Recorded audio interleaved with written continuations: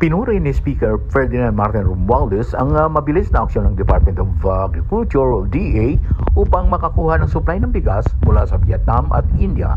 Sinabi ni Speaker Romualdez na ang uh, pag-angkat ng bigas ay uh, makatutulong upang hindi tumaas ang presyo ng bigas sa bansa matapos ang uh, pananalasa ng bagyong Egay at uh, Habagat at uh, ang inaasahang epekto ng El Nino phenomenon.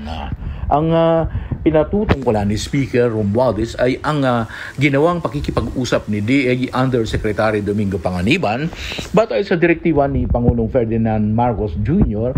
sa mga eksporte ng Vietnam na nagbigay ng quotation na $30 hanggang $40 na mas mababa kumpara sa napag-usapang presyo sa pagpupulong sa Malacanang. Bukod sa Vietnam, sinabi ni Panganiban na pinaplansya na rin ang uh, pag-angkat ng bigas sa India sa kabila ng inanunsyo nitong uh, ban sa pag-export ng uh, bigas. Uh, matatandaan na nasungkit ni Speaker Romualdez ang isang pangako mula kay uh, Vuong Dinh Huy, Pangulo ng National uh, Assembly of Vietnam na magsusupply ng Viet ang Vietnam ng uh, bigas sa Pilipinas sa isang bilateral meeting sa Indone- Indonesia kamakailan.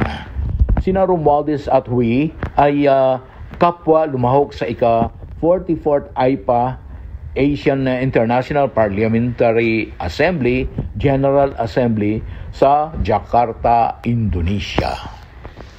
Kamara de Representantes Terence Moreno Grana nagbabalita para sa Armed Forces Radio, Boses ng Kawal Pilipino.